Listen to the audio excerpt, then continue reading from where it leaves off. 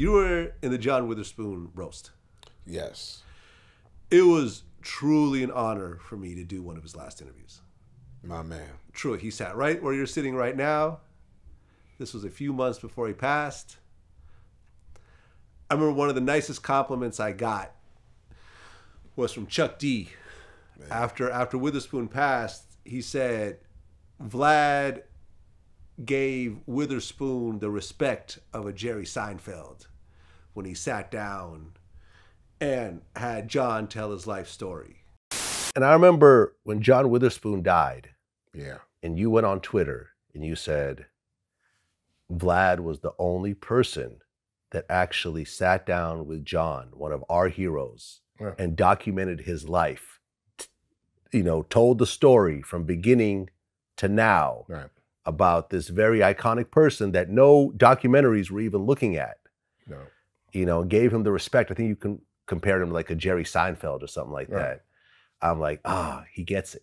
Like Chuck, Chuck gets what I'm doing here. I'm actually documenting people's lives because more often than not, these people die without that type of documentation. And, you know, Chuck was very grateful over the interview that, that I helped conduct. And uh, he ended up dying a few a few months later. You know, I got to drive him home and everything else like that. Uh, very, an incredible talent, incredible. The the thing that really impressed me the most was when he told me that most of his iconic lines were ad libs. All the boomerang stuff, ad libs. Eddie pulled him in. It wasn't even in the script. He just pulled him in on an extra day of shooting. That whole mushroom belt with the mushroom thing, that wasn't in the script. He went into wardrobe and just picked out some weird stuff and, and just created a whole thing out of it. Did you know him well? Yes. Oh, very well. Um, my last time with him, we was at the airport, and um, he gave me a ride to his house, and I caught an Uber from my house to from his house to my house. John was um, he was the best man. He was. I, he was just the best man. He was a great person, man, and he he always gave us what we needed.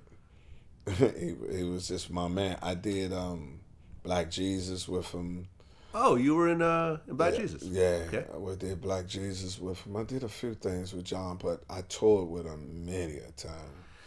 And then chicken wings and molat. Got to have that molat quick.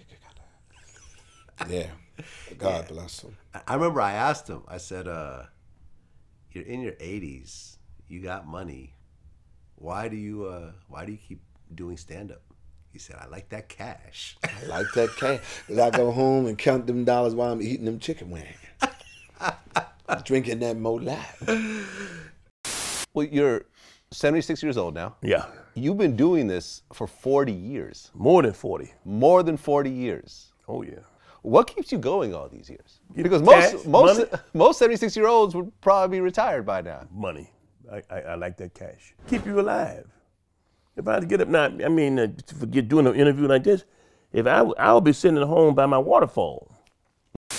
Now you did the roast, and Paul Mooney was on that roast. Yeah. That's when you call Paul Mooney uh, a gay uncle. Yeah. And I guess there was a, a story with that with Tracee Ell- Ellis Ross. Oh yeah. Um I was at the only few um, black awards that I was invited to. Well anyway, I had Tracee Ross sitting beside me and I was there.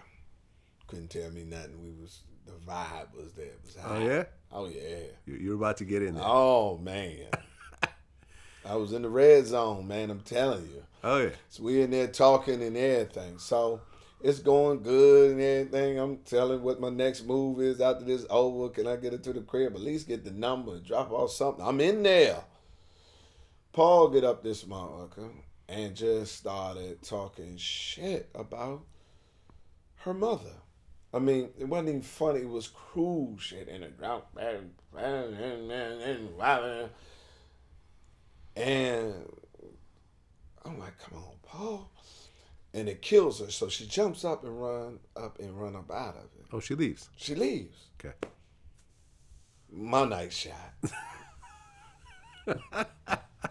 so he done fucked my shit up. I had Tracee. I was about to have a baby, one of the Rosses, the Supreme, the L. This nigga done killed nigga. No, but I would have bragged like that, nigga. I would have got that. Well, anyway, we had the roast, and um, he was there, and my friend, his name Dez, he another comedian. He wrote the joke because he owed me some money. I said, man, give me. I wiped that two hundred dollars off. I got this roast to do right there. He wrote the joke. That's why he seen me read it. So I read the joke. Paul Mooney is proof. Cause I didn't, I didn't even rehearse it. I looked at Paul Mooney is proof that everybody got a gay uncle, and I was okay. Shit wasn't nothing. I didn't know the backstory because I knew I didn't know about the alleged or sexuality of Paul or you shouldn't say shit about Paul. None of that shit. But I did know that motherfucker fucked up my ass. so everybody went crazy. Oh shit. Oh, he said that about Paul. So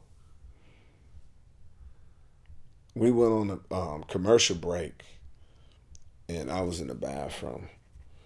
Paul was in the bathroom. That what you said, brother, was not funny at all, and I'm gonna get you for this and everything. Man, fuck you, Paul. you know, Just you like know, that. yeah, yeah. Like, fuck you, Paul. It's a roast. You know what I mean? You act like I said this shit over here, and you, and that's what I said. You, you, you, you, you fuck people up everywhere you go. You determine who ain't a real nigga, who ain't, who ain't supposed to be in Hollywood, who's selling out. You the you the barometer who who real niggas are to be looked up to or shunned in Hollywood. Man, fuck you.